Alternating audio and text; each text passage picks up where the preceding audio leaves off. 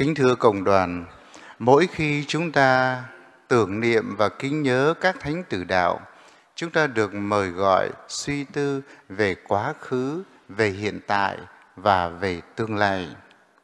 Về quá khứ để trả lời câu hỏi các thánh tử đạo là ai?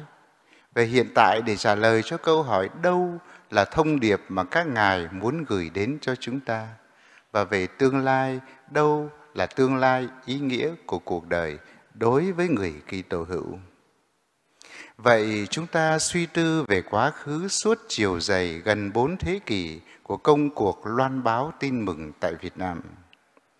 Một giáo hội sinh ra trong đau khổ như người mẹ sinh con. Một người mẹ sinh con vô cùng đau đớn. Giáo hội Việt Nam cũng sinh ra trong đau đớn như vậy. Và nếu chúng ta tìm hiểu lịch sử, chúng ta sẽ thấy giáo hội Việt Nam có những điểm tương đồng với cộng đoàn tín hữu sơ khởi ở Roma.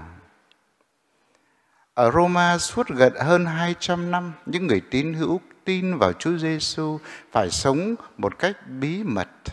Họ phải sống ngoài những nghĩa trang đào hầm dưới đất mà họ vẫn giữ đạo, vẫn thiết lập giáo hội và vẫn có những sinh hoạt đạo đức. Giáo hội Việt Nam của chúng ta cũng thế. Khi nhìn lại quá khứ chúng ta thấy một điều kỳ diệu Thiên Chúa đã làm. Bởi lẽ những nhà truyền giáo đầu tiên đến Việt Nam là những nhà thừa sai ngoại quốc không cùng ngôn ngữ với chúng ta, có ngoại hình hoàn toàn khác với chúng ta.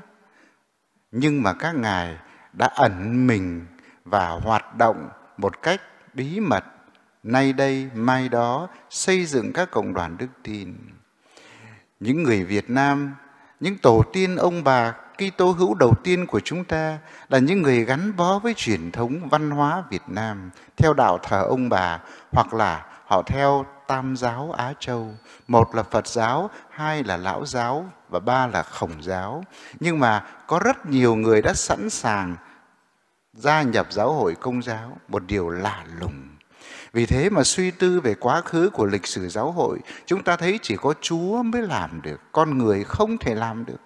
Con người dù là tiền bạc, quyền hành đến đâu không thể làm được. Bởi vì làm sao để cho biết bao nhiêu người gắn bó với văn hóa, truyền thống gia đình, truyền thống xã hội, truyền thống tín ngưỡng địa phương mà họ sẵn sàng gia nhập đạo Chúa Kitô với một giáo lý hoàn toàn mới mẻ được khai sáng bởi các nhà truyền giáo và rồi các thế hệ tiếp tục lần lượt truyền cho nhau đức tin kỳ diệu ấy. Các thánh tử đạo là ai? Chúng ta đều biết 117 đấng tử đạo đã được phong thánh ngày 19 tháng 6 năm 1988. Trong số 117 ấy có 10 vị là người Pháp, 11 vị là người Tây Ban Nha và 96 vị là người Việt Nam. Trong số 96 vị này có linh mục, có tu sĩ, có chủng sinh, có người nam, người nữ, có duy nhất một người nữ là bà Thánh Đê ở Phát Diệm. Chúng ta thấy các thánh tử đạo đến từ các nước khác nhau và ở Việt Nam này cũng từ các miền đất khác nhau nhưng tất cả đều chung một chí hướng, chung một tấm lòng, chung một trái tim để tôn thờ Thiên Chúa thà mất mọi sự chứ không mất đức tin. Vì thế mà các thánh là nguồn niềm tự hào cho chúng ta là người tín hữu công giáo. Vậy chúng ta ôn lại lịch sử, chúng ta hãy tìm hiểu xem các thánh tử đạo để lại cho chúng ta thông điệp gì. Thưa quý ông bà và anh chị em, chúng ta mừng kính các thánh tử đạo không giống như tưởng niệm anh hùng dân tộc. Chúng ta mừng các thánh tử đạo dường như các ngài đang hiện hữu, hiện diện với chúng ta. Các ngài đang hiện diện với chúng ta để cùng với chúng ta dâng lời tạ ơn Thiên Chúa. Và các ngài đang nhắn nhủ chúng ta cuộc sống đời này, hãy noi gương các ngài. Bởi vì nếu ngày xưa tử đạo là chết, thì ngày hôm nay tử đạo lại là sống. Tử đạo ngày xưa là chết cho Chúa, nhưng mà tử đạo ngày hôm nay là sống cho Chúa. Tử đạo là dám sống cho Chúa trong một bối cảnh xã hội càng ngày càng bị tục hóa mà con người đứng trước biết bao nhiêu chọn lựa, biết bao nhiêu cám dỗ, biết bao nhiêu khuynh hướng của cuộc đời. Chúng ta hãy nghe bài sách thánh thứ nhất trích sách Maccabe kể lại một bà mẹ anh hùng. Bà nhìn bảy người con lần lượt bị giết hại Bà là một người có trí khí nam nhi, bà là niềm tự hào của dân tộc Do Thái, đánh dấu một giai đoạn mà đế quốc Hy Lạp xâm lấn đất nước Israel và tục hóa đền thờ Jerusalem, đồng thời giết hại biết bao người Do Thái. Trong số đó có những người con của bà, của người mẹ mà chúng ta gọi là người phụ nữ trong sách Maccabe. Thánh Phaolô nói với chúng ta trong thư gửi giáo dân Roma, thông điệp mà các ngài, các thánh tử đạo gửi cho chúng ta nó mang tính hiện tại. Thánh Phaolô khẳng định với chúng ta đời sống đức tin là hướng về Chúa để rồi không có cái gì có thể tách chúng ta ra khỏi lòng yêu mến của Đức Kitô.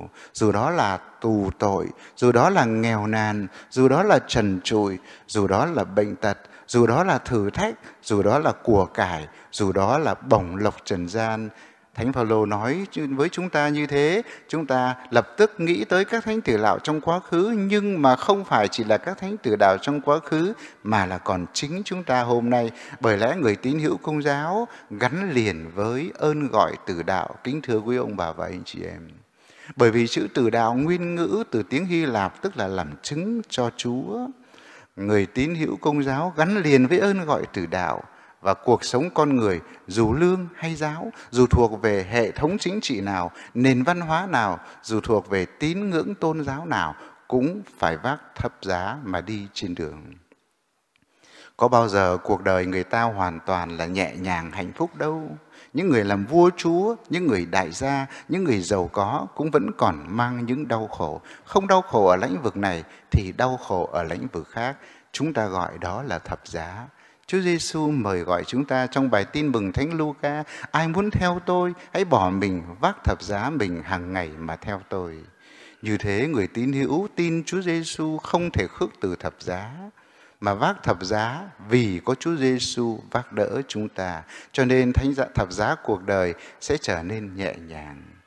Nói đến thập giá là nói những đau khổ, nói những mâu thuẫn, nói đến những khó khăn, nói đến những thất bại và nói đến những thử thách mà chúng ta gặp thấy trong cuộc đời. Ai chúng ta cũng vắt vướng phải những điều ấy.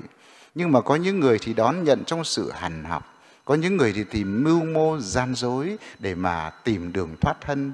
Người tín hữu Kitô giáo hãy lấy đức tin, đức cậy, đức mến để rồi hóa giải những thập giá ấy làm cho nó trở thành niềm vui bởi vì chúng ta không thể khước từ thập giá trong cuộc đời.